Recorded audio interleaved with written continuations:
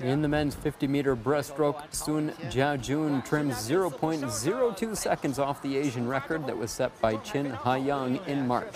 The Hubei native claims the title in 26.61 seconds, which is the fourth fastest time in the world this year. The gold is the 22-year-old second in Hangzhou after he won the 50-meter butterfly on Friday.